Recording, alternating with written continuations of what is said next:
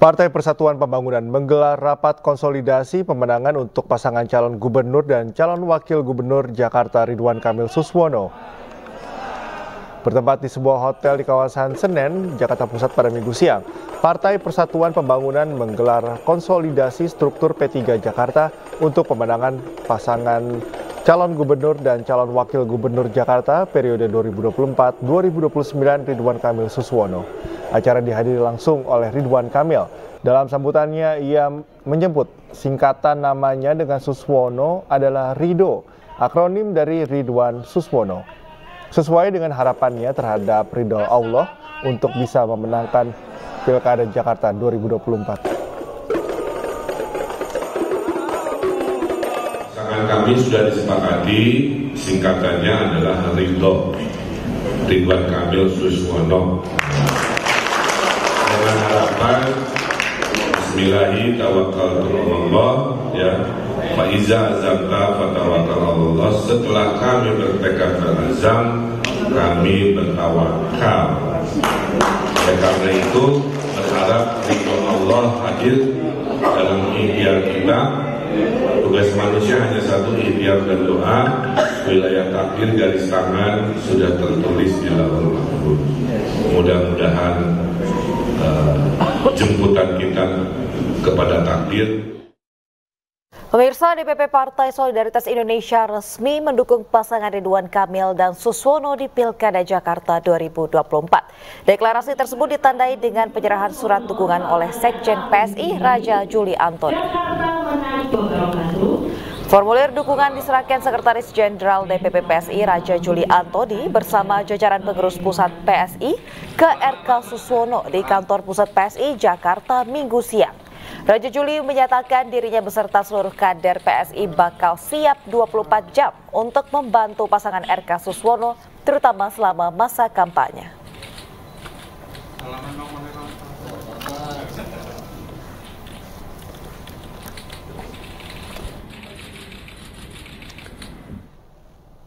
Usai Mahkamah Konstitusi membuat putusan terkait batas usia di Pilkada, Partai Solidaritas Indonesia memastikan tidak akan memajukan Kaisang di kontestasi Pilkada 2024. Kepastian tersebut disampaikan Sekjen PSI Raja Juli Antoni.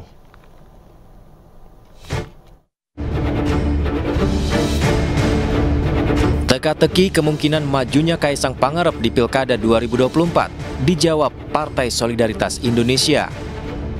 Sekjen Partai Solidaritas Indonesia Raja Juli Antoni memastikan Ketua Umum PSI Kaisang Pangarep tidak akan maju di Pilkada 2024. Dengan lahirnya keputusan MK, Mas Kaisang tidak akan maju lagi, ya, tidak akan maju menjadi uh, dalam kontestasi pilkada ya, di 2024 ini. Jadi uh, clear ya sekali lagi saya tegaskan bahwa Mas Kaisang ya dengan keputusan MK itu tidak akan maju lagi menjadi calon pilkada di mana pun. Terus kalau ya terkait uh, urus surat tidak dipidana itu gimana? Ya saya sudah sampaikan juga di rilis saya bahwa sebelum beliau berangkat ke Amerika Serikat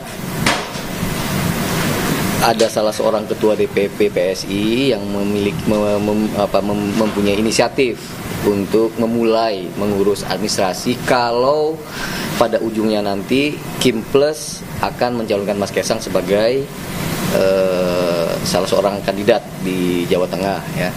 Jadi ketika itu juga komunikasi berjalan tapi juga belum bulat gitu. Ya. Jadi uh, sambil komunikasi berjalan hal yang bersifat administratif ini dijalankan. Tapi per keputusan MK itu ya eh, proses administrasinya berhenti dan Mas Kaisang sendiri mengatakan bahwa Eh, karena beliau adalah taat kepada konstitusi ya. Kenapa ketika itu didorong oleh PSI untuk maju? Kan karena memang juga ada ruang konstitusionalnya dengan keputusan MA ya. Kemudian uh, beliau eligible untuk maju. Nah setelah keputusan MK ada ya Mas mengatakan bahwa saya tidak akan maju uh, dalam kontestasi oke. Okay. KPU juga telah menegaskan pendaftaran calon kepala daerah mengikuti putusan uji materi Mahkamah Konstitusi tersebut Pasca putusan itu, semua administrasi Kaisang pun dihentikan. PSI menyatakan taat konstitusi dan mengikuti sepenuhnya putusan MK. Tim Liputan iNews melaporkan.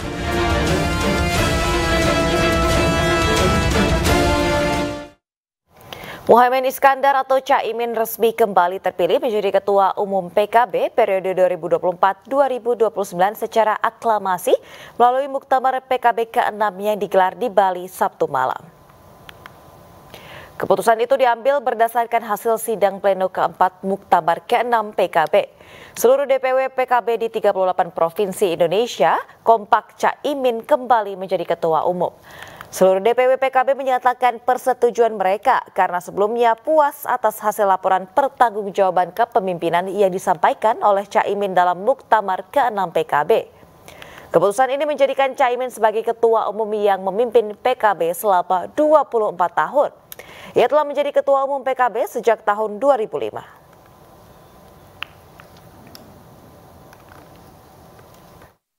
Ya, Ya karena semua DPC 500 lebih DPC mengendaki saya sehingga saya merasa ini bagian dari tanggung jawab berikutnya. Tapi saya tadi sudah menanyakan kepada seluruh DPC bahwa mandat yang diberikan kepada saya mandatoris tunggal, mandataris tunggal yang dimintakan kepada saya, saya balik kepada mereka asal mereka asal mereka mau berkomitmen. Bersama-sama berjuang kembali saya siap. Dan akhirnya diputuskan seperti itu. Tentu ini amanah berat yang insya Allah saya akan bekerja sekuat tenaga Ketua Umum Partai Gerindra sekaligus Presiden terpilih Prabowo Subianto menampik kabar keretakan hubungannya dengan Presiden Joko Widodo. Menurut Prabowo, isu tersebut dibuat sebagai upaya adu domba.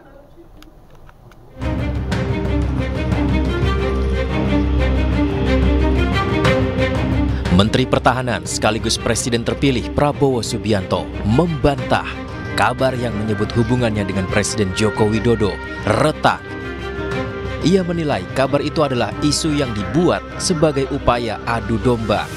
Menurutnya hubungannya dengan Presiden Joko Widodo sangat baik.